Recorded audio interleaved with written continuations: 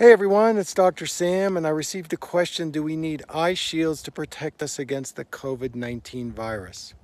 Well, there is emerging evidence that there is a possible airborne transmission through the nose and the mouth.